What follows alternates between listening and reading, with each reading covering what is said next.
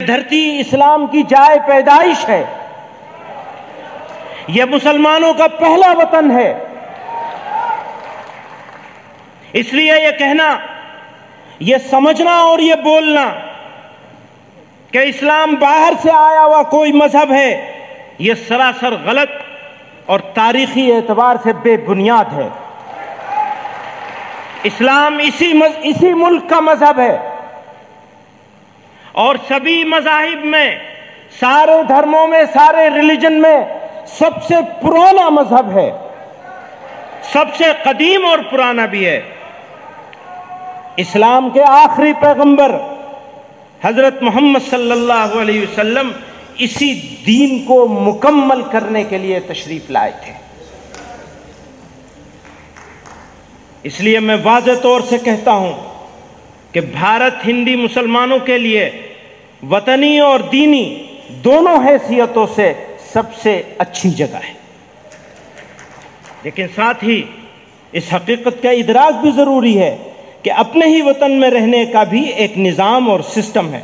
अगर वो निज़ाम दुरुस्त है तो इस मुल्क के बाशिंदों के लिए रहना आसान होगा और वो निज़ाम बिगड़ जाएगा तो शहरियों की ज़िंदगी मुश्किल हो जाएगी। इसलिए हमें देखना होगा कि हमारे मुल्क का निज़ाम कैसा है? इसके चलाने वाले अपनी जिम्मेदारियों के तय किस कदर मुखलिस हैं? हमारा ऐसा समझना है, नंबर एक आइन नंबर दो, जमहूरियत। आइन का मतलब दस्तूर कॉन्स्टिट्यूशन या जमहूरी और जमहूरियत, यानी डेमोक्रेसी और नंबर तीन, इंसानी हकूक ह्यूमन राइट्स मॉडर्न इंडिया की पहचान है। आइडेंटिटी है यह हमारी। इस मॉडर्न इंडिया की अगर कुछ आइडेंटिटी और पहचान हो सकती है तो ये तीन चीज़ें हैं बुनियादी तौर पर। हमारा कॉन्स्टिट्यूशन हमारी डेमोक्रेसी और ह्यूमन राइट्स अगर ये तीनों चीज़ें मुस्तहकम हैं तो फिर यह कहना आसान होगा कि हमारा मुल्क अपने बाशिंदों के लिए सबसे अच्छी जगह है। लेकिन अगर इन तीनों या तीनों में से किसी एक पर भी कंप्रोमाइज हो जाए, ध्यान कीजिएगा, अगर इन तीनों या तीनों में से किसी एक चीज़ पर कंप्रोमाइज हो जाए तो फिर हमारे लिए यह कहना हरगिज आसान नहीं होगा। इसको परखने के लिए हमें जमहूरियत के चार सुतूनों मुकन्ना यानी क्या कहना चाहिए मुकन्ना को? लेजिस्लेचर इंतजामिया एडमिनिस्ट्रेशन अदलिया। यानी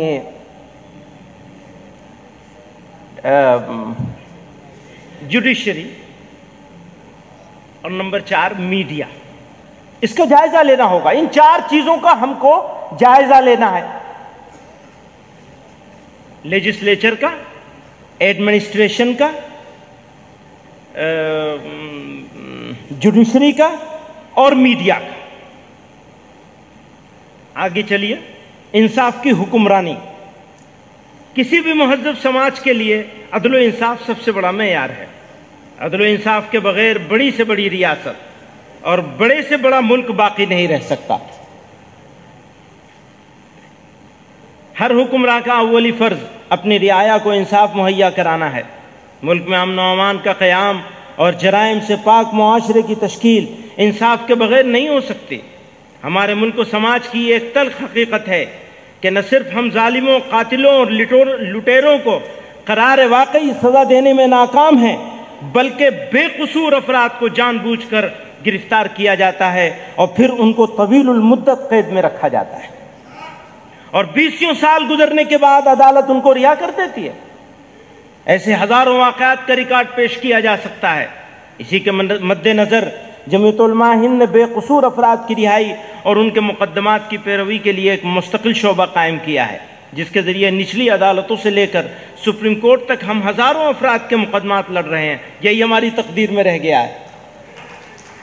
ख़ास तौर से उन लोगों के मुकदमात जिनको यूएपीए और दहशतगर्दी के दीगर कवानीन के तहत बेजा गिरफ़्तार किया गया है। नीज ये बात भी आमतौर से देखी जाती है कि फसादात के मौके पर मारे भी मुसलमान जाते हैं, लूटे भी जाते हैं और उल्टा उनको ही कसूरवार ठहराकर कैदोबंद की सजा दी जाती है। कलेजा थाम लो, रुदाद गम हमको सुनाने दो। कलेजा कलीम आजिज मरहूम ने कहा कलेजा थाम लो रूदाद गम हमको सुनाने दो। तुम्हें दुखा हुआ दिल हम दिखाते हैं, दिखाने दो। जमाना सब्र कर लेता है आजिज, हम भी कर लेंगे। खलिश दिल की मिटा लेने को दो आँसू बहाने दो।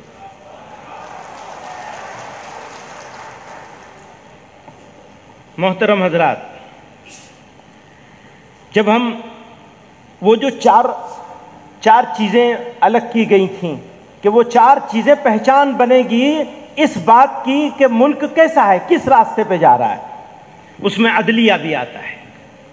हमारी जुडिशरी, सुप्रीम कोर्ट और मुल्क की दूसरी अदालतें भारत की सबसे बड़ी जमहूरियत की मुहाफिज और उसकी ताकत है।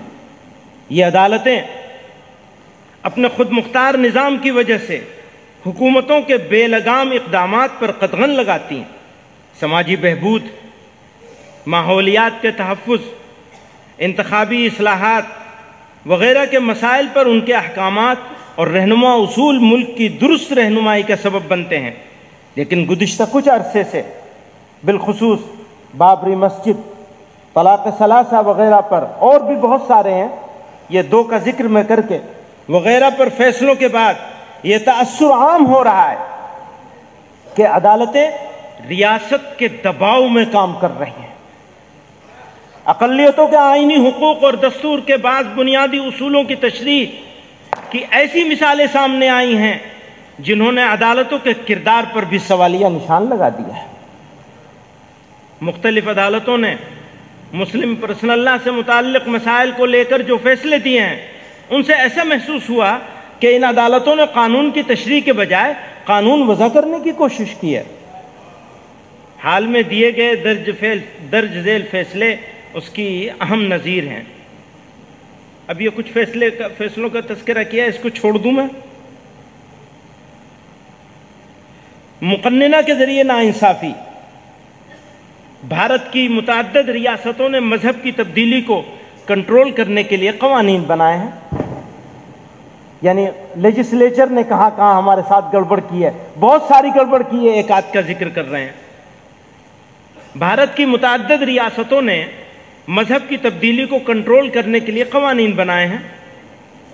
गुजरात और मध्य प्रदेश हाई कोर्टों ने इन दफात पर यह कहते हुए रो, रोक लगा दी है कि यह किसी शख्स की प्राइवेसी के हक की खिलाफ वर्जी है पर मबनी है। यानी वो जो एक्ट बनाए गए उनकी कुछ दफात ऐसी हैं जिन्हें प्राइवेसी के हक के खिलाफ मान लिया कोर्ट ने भी। इसमें गुजरात वाले मामले में जमीयत गुजरात उस, उस मामले को देख रही थी उस पर उन्हीं की तरफ़ से वो मुकदमा लड़ा गया।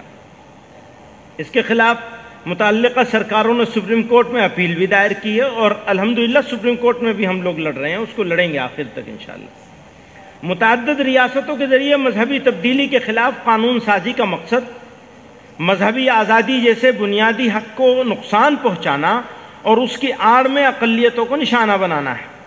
इन कवानीन की ज़बान इस कदर मुबहम है कि वो ख़ुद मजहबी आज़ादी के लिए संगीन चैलेंज है, जो आइन हिंद का बुनियादी हिस्सा है। ज़बरदस्ती धोखादही और लालच के ज़रिए किसी का मज़हब तब्दील कराने के हम भी मुखालिफ हैं।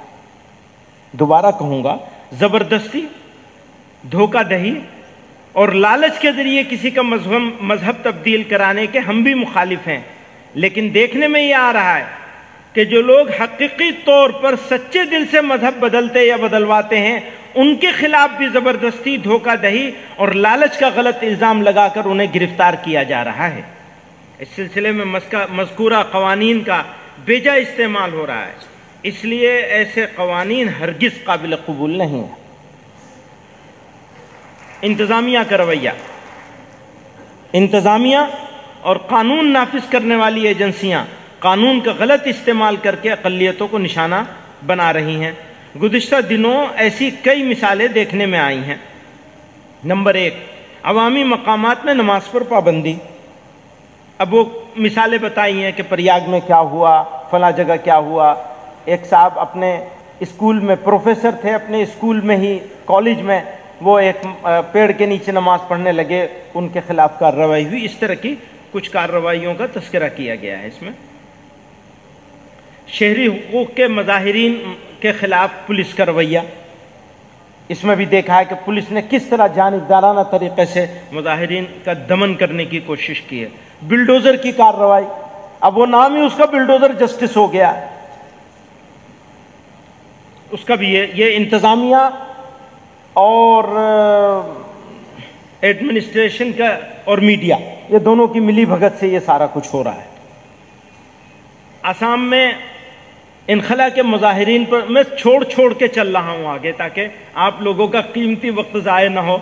बहुत रात हो चुकी है और इन हजरात ने मौका भी मुझे सबसे आखिर में दिया पहले। इन्होंने सोचा होगा पहले मौका दे देंगे तो इतना लंबा चौड़ा तो खुद सदारत है। अब बताओ इतनी सारी लंबी चौड़ी बातें कहाँ से? फिर इनको शुरू में मौका दे देंगे तो वो इनकी तजवीज़ें रह जाएँगी सारी। तो अच्छी बात है, आसाम में इनखला के मुजाहरीन पर जुल्म सितम। मुस्लिम कम्युनिटी, आसाम में मुस्लिम कम्युनिटी के अफसोसनाक और तशवीशनाक सूरत हाल की तरफ़ आपकी तवज्जो मबजूल कराना चाहता हूँ।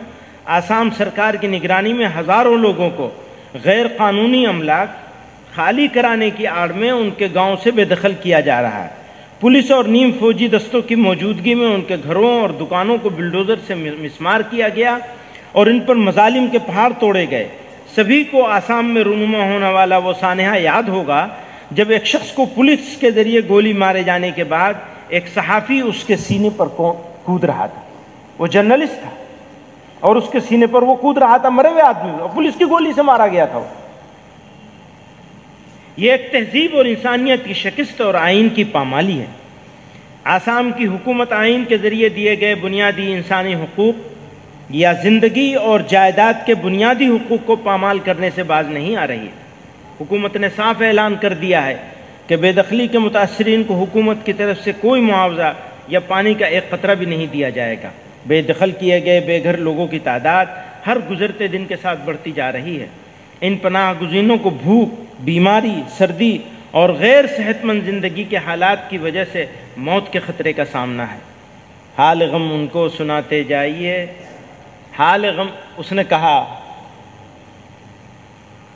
खुमार ने। हाल गम उनको सुनाते जाइए। अब किसको सुनाएँगे? वो तो बहरे आप ही को सुना लेंगे। हाल गम उनको सुनाते जाइए, शर्त है कि मुस्कुराते जाइए। शुक्रिया लुत्फ़े मुसलसल का मगर। शुक्रिया लुत्फ़े मुसलसल का मगर। गाहे गाहे दिल दिखाते जाइए। गाहे गाहे दिल दुखाते जाइए। दुश्मनों से प्यार होता जाएगा। दुश्मनों से प्यार होता जाएगा, दोस्तों को आजमाते जाइए।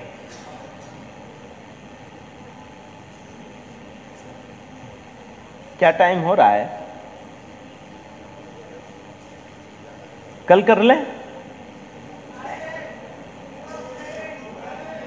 पूरा करेंगे आज ही? सारा काम एक ही दिन में? वो पुलिस वाले आ जाएँगे? हाँ हाँ। थोड़ा सा और कर लेता हूँ। मीडिया का रवैया। अब ये हमारे हमारे खुतब सदारत में सबसे ज़्यादा मीडिया को ही ले लिया गया है।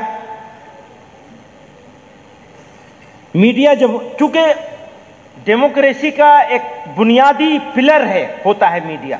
इसलिए मीडिया पर बात होनी ज़रूरी है। मीडिया जमहूरियत की बका का सबसे अहम और बड़ा वसीला है। लेकिन आज वो जमहूरियत के लिए सबसे बड़ा, डेमोक्रेसी के लिए सबसे बड़ा चैलेंज बन गया है। आज मीडिया की अक्सरियत जमहूरियत की जड़ों को खोखला कर रही है। और भारत की एक कमज़ोर अकलियत को मजहबी, समाजी और कौमी मामला में बदनाम कर रही है। मीडिया ने कोरोना के दौर में तबलीगी जमात और दीगर इनफरादी वाक़ात को जिस तरह एक कौम की इजतमाही गलती के तौर पर पेश करने की कोशिश की वो इंतहाई शर्मनाक शेमफुल है। अदालत से लेकर इंसानी हकूक़ की तंजीमों तक ने इस पर तफसील से रोशनी डाली है। इसी तरह हाल में एक मुस्लिम लड़के के ज़रिए, एक मुस्लिम लड़की के कत्ल जैसे इंसान इंसानियत सोज जुर्म को मुस्लिम शनाख्त देकर मुसलमानों को शैतानी किरदार के तौर पर पेश किया गया, उसने समाज के ताने बाने को बखेरने में बड़ा किरदार अदा किया है।